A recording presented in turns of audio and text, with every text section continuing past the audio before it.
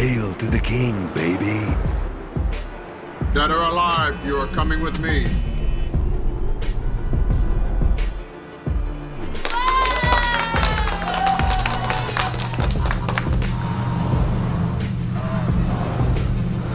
Hadouken! I mean, with artificial intelligence, we are summoning the demon.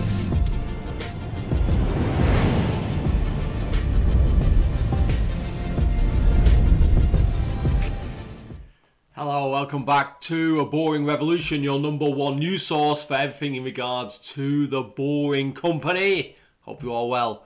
So, we've had a very, very uh, interesting uh, set of videos produced, um, giving quite a detailed overlook of the Boring Company, its history, and uh, some of its uh, methodology and um, concepts for for tunneling and um, I wanted to talk about Joe's tour of the Boring Company.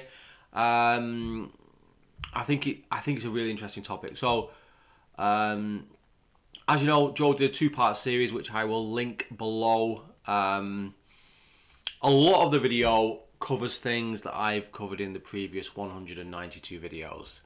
Uh, granted, if you watch this channel uh, quite often, uh, probably Joe Joe's videos would already be telling you things that you already know. However, there were a good few things in there that were um, new to me or phrased in a different way that, that maybe has led to me um, coming to a different understanding about certain topics.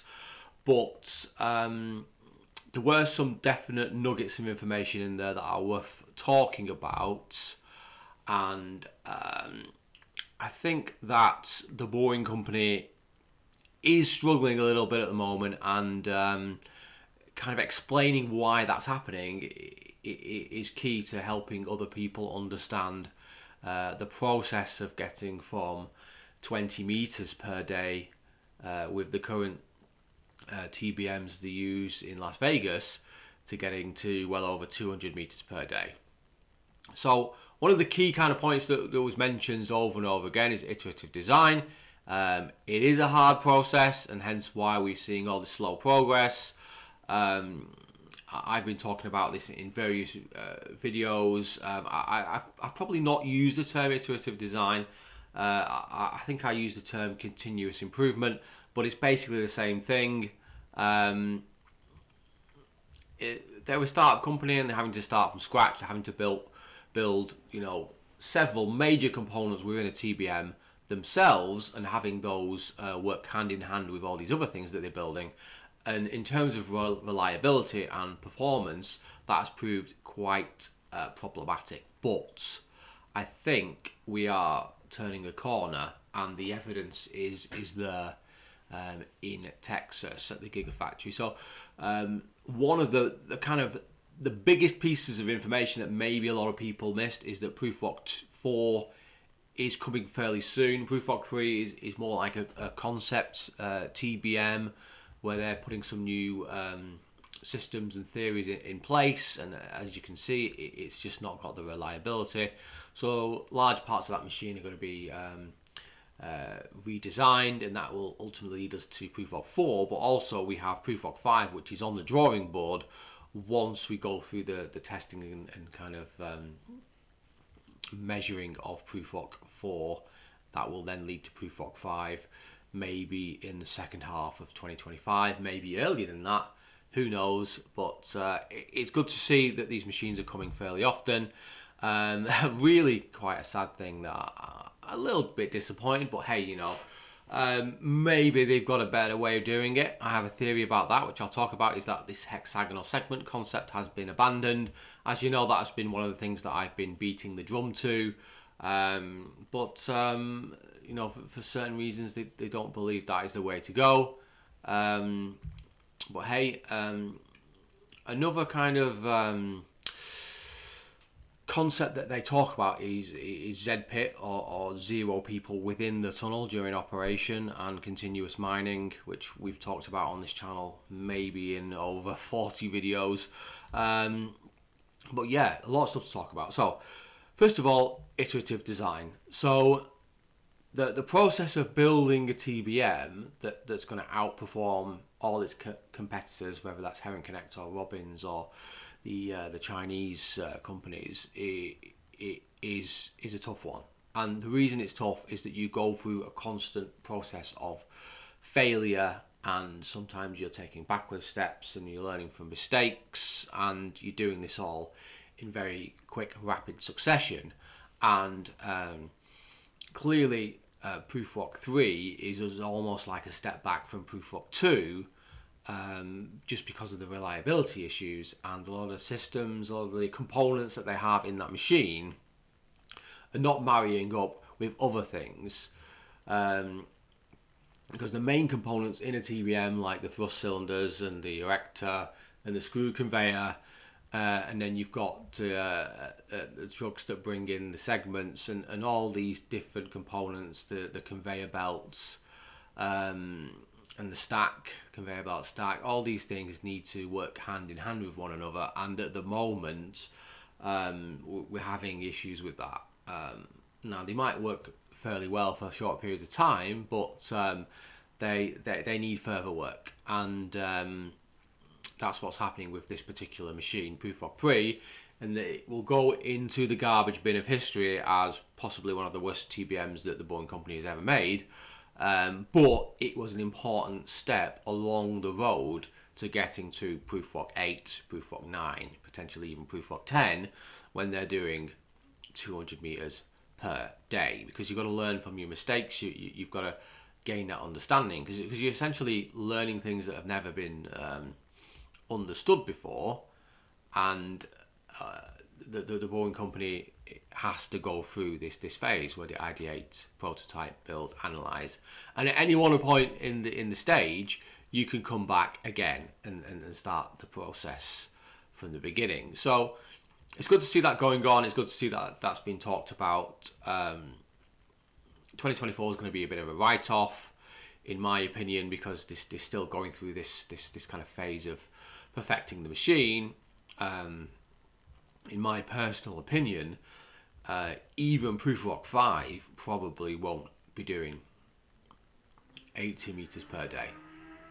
Or it might be slightly above that. But um, from Prufrock 5, we should see massive, massive improvements.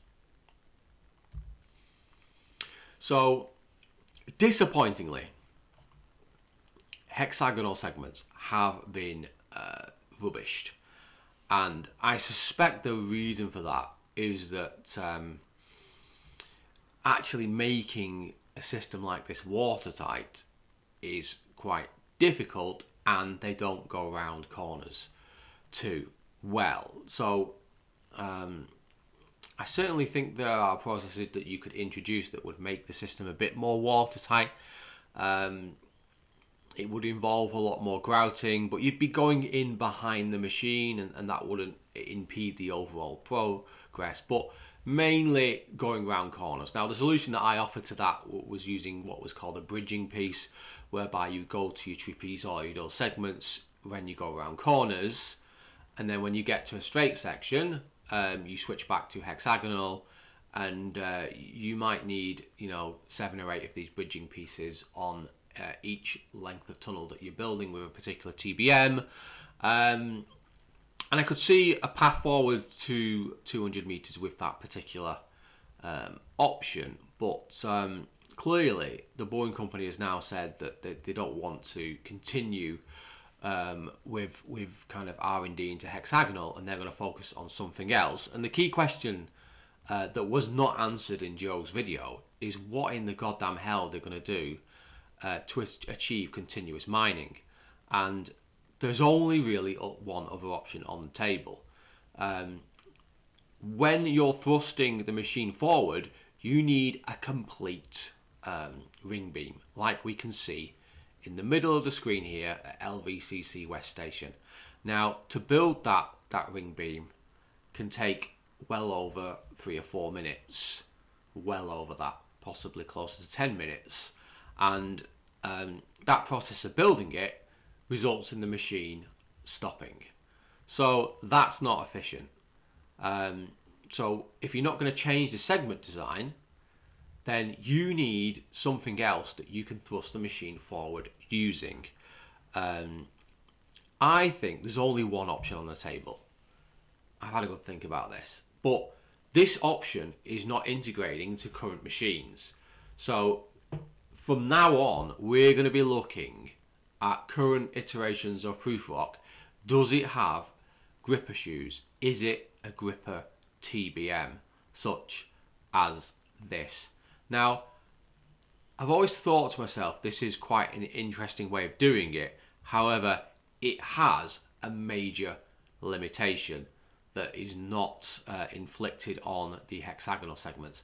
And the problem with a machine like this is that if you go into an area where you have very soft um, strata or quite loose rock, then when you're thrusting the machine forward using the gripper shoe, the, the, this particular thing in, red and blue here in the middle of the screen, um, you could penetrate into the, the, the kind of perimeter of your tunnel that you've just bored and it could sink in uh, you know 10 12 14 inches uh, and potentially that is very very bad um, for the kind of integrity of that tunnel so it only really works in areas where you have medium to high uh, strength uh, rock.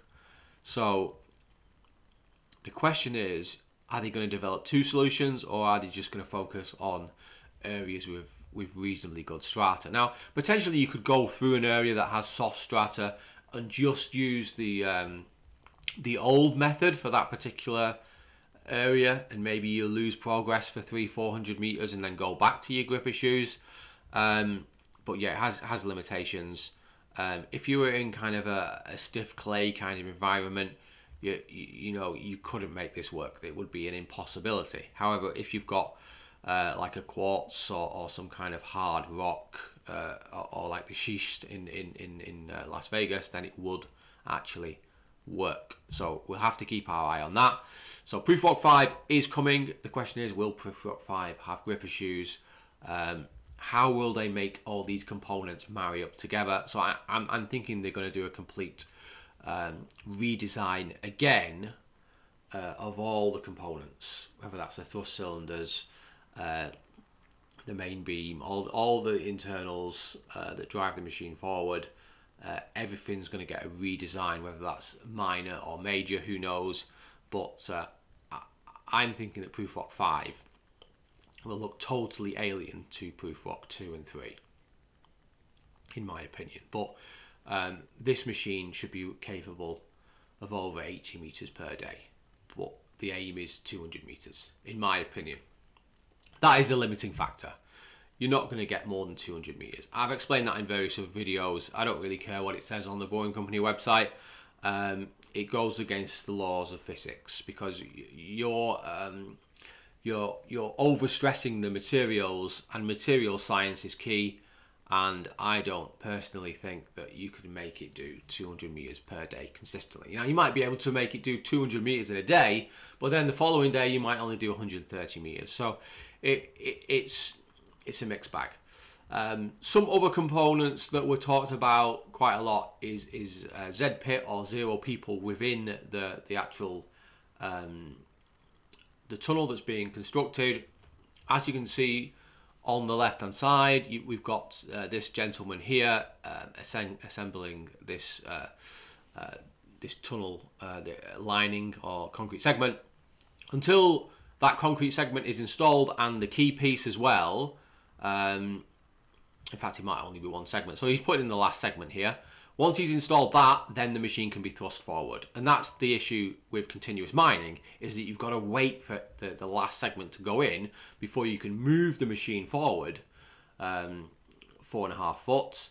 And then you've got to start the process again of, of building the segments. And, and that's why I liked hexagonal segments, because you could be thrusting off uh, uh, segment A and segment C, but then when you assembled segments um, B and C, you could then thrust forward off those. So um, the only option around that is gripper shoes, in my opinion. So you'd have a gripper TBM. But we will see. Well, maybe they have um, produced some uh, incredibly innovative uh, second means of, of doing this um, that no one else has ever thought of. Possibly that, that, that could be what's happening. But I've not seen from the Boring Company um, a really kind of cohesive strategy for achieving continuous mining thus far. So we wait to see what Prufrock 4 and Prufrock 5 have to offer. Um, as you can see, there's always, always lots and lots of people within a TBM because it is a big piece of machinery. It needs constant maintenance and you're building uh, a tunnel lining and to actually put the, the, the, the tunnel lining into place, you need this erector here. And then once it's been erected, you then need to bolt um, these segments to each other so you've got one continuous structure and usually you've got some guy going or, or, or two people going around uh, with, with, an ergun uh, essentially fixing these segments together and um, you, you, know to try and get rid of that person and replace it with a piece of machinery would be quite difficult. Now if you look at this picture at the bottom of the screen here we've got these two men looking at these uh, thrust cylinders there is not a lot of room in this particular machine this particular machine is boring a tunnel that is over 20 foot in diameter. So imagine you take uh, five and a half foot off the diameter of, or, or six foot. You take six foot off the diameter of this machine. Where is um, this extra piece of equipment going to go that's going to fit, you know, install the segments together? Is it going to be integrated into this erector?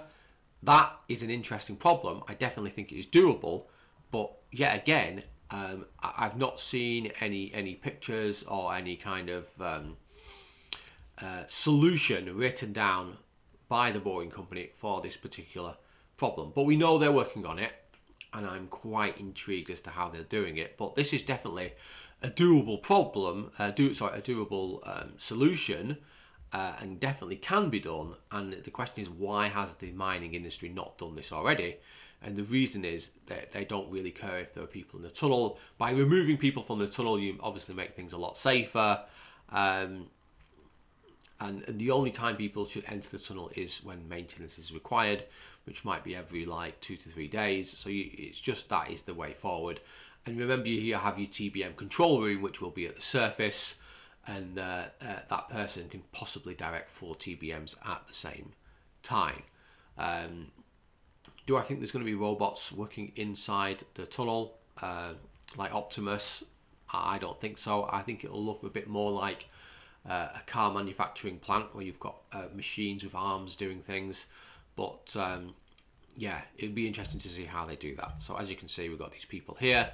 And then just, just kind of for my reference, you have a, a recessed opening in the concrete segment here. And that allows you to bolt um, segment onto the left to the segment that is being uh, lifted and the same on the other side as well. Uh, and that gives you one kind of continuous structure uh, which is obviously going to make it a bit stronger. Okay hope you enjoyed that. Hope you've learned something. Definitely go and watch Joe's videos. I'll put those in the description below and uh, yeah thanks again to all my Patreons. as always you're doing a great job supporting me and I very very much appreciate it and I hope you guys have a have a lovely day and uh, take care. And remember, guys, don't be boring. Thank you and good night. Perfect. Surely you can't be serious. I am serious. And don't call me Shirley. Damn, I'm good.